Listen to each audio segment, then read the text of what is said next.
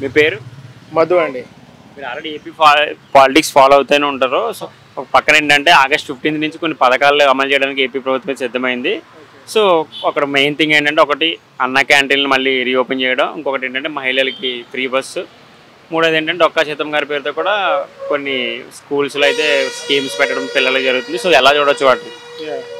పథకాలంటే ఇంతకుముందు ఏదైతే ఉన్నాయో అవి కంటిన్యూ చేయడం అనేది కంపల్సరీ చేయాల్సిందే. ఎందుకంటే అవి దానికి జనాలు కూడా అలవాటు పడ్డారు కాబట్టి కొత్తగా మళ్ళీ తెలుగుదేశము జనసేన ఈ కూటమి అంతా ఏర్పడి తప్పకుండా వీటిని ఫాలో అవుతూ తప్పకుండా అన్నీ అమలు చేస్తారని తప్పకుండా నాకైతే అనిపిస్తుంది. చేస్తారు కూడా. లైక్ మహిళలకు ఉచిత బస్సు కూడా ఎంతవరకు కరెక్ట్ అంటారు? ఒకటండి ఇక్కడ తెలంగాణలో ఫ్రీ చేశారు. అంటే ఏపీలో కూడా చేస్తే ఇంకా జనాలు ఆదరిస్తారని చెప్పి గవర్నమెంట్ని వాళ్ళు చేశారు. బట్ ఏంటంటే అనుకున్నది చేయాలి అన్నప్పుడు చేయాల్సిందే తప్పదు ఇంకా. అది గవర్నమెంట్ లేడీస్ కొంతవరకు అయితే అది యూజ్ అవుతుంది అనుకుంటున్నాను. ఇంకొకటి ఏంటంటే డిప్యూటీ సీఎంగా పవన్ కళ్యాణ్ గారు ఎక్కువ సమయం అధికారులతో గడుపుతున్నారు. సో చాలా మంది ఆయన కమెంట్ చేశారు కదా.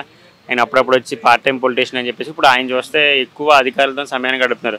సో మీరు ఎలా చూడొచ్చు దీన్ని? ఒకటండి పవన్ కళ్యాణ్ గారు అనేది చిన్నప్పటి నుంచి జనాలకు ఏదో చేయాలని పాలిటిక్స్లో ఎంటర్ అయ్యారు.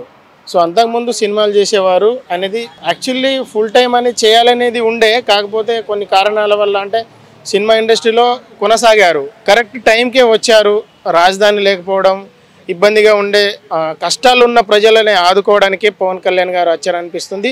తప్పకుండా ఏపీ ప్రజలకు పవన్ కళ్యాణ్ గారు అనేది న్యాయం చేసే టైం వచ్చింది స్టార్ట్ చేశారు తప్పకుండా చేస్తారని కూడా నాకు నమ్మకం ఉంది. సో దాని గురించి బ్యాడ్గా మాట్లాడితే మాత్రం నాకు కూడా మంచిగా అనిపించింది. నేను కూడా ఎందుకంటే నేను కూడా పవన్ కళ్యాణ్ ఫ్యాన్నే. బట్ ఏపీ ప్రజలకు కూడా మంచి రోజులు స్టార్ట్ అయ్యాయని నాకైతే అనిపిస్తుంది. మీరు కేంద్రం ఇచ్చిన బడ్జెట్ చూసే ఉంటారు. యా. సో బడ్జెట్ ఎంతవరకు మనకు సరిపోతుంది అంటారు?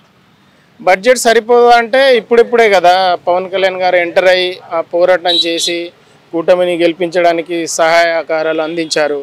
సో సరిపోతుందంటే మళ్ళీ ఒకవేళ సరిపోకపోతే నెక్స్ట్ బడ్జెట్లో కూడా మళ్ళీ అమౌంట్ ఇస్తారు కదా బడ్జెట్ ప్రవేశపెడతారు కదా అందులో రాజధానికి కావాల్సినటువంటి బడ్జెట్ తప్పకుండా వస్తుంది.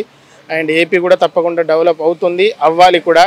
ఎందుకంటే రాజధాని లేక చాలా ఇబ్బందులు పడుతున్నారు. ఎంప్ల అన్ఎంప్లాయ్మెంట్ లేదు అక్కడ చాలామంది వలసపోతున్నారు. సో రాష్ట్రం విడిపోయినప్పటి నుంచి ఏపీ ప్రజలకు చాలా ఇబ్బందులు ఉన్నాయి.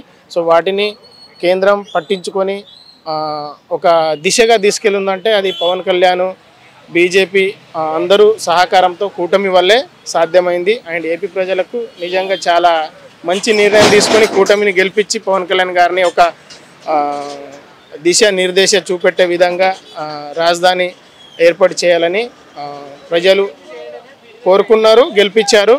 And all the best. అందరికీ కూటమికి ఏపీ ప్రజలు గెలిపించుకున్నారు కాబట్టి తప్పకుండా రాజధాని అవుతుంది. ప్రతి ఒక్క సమస్య సాల్వ్ అవుతుంది. ప్రతి అమలు ఏదైతే పథకాలు ఉన్నాయో అవి కూడా అమలు చేస్తారు తప్పకుండా. Don't worry so thank you so much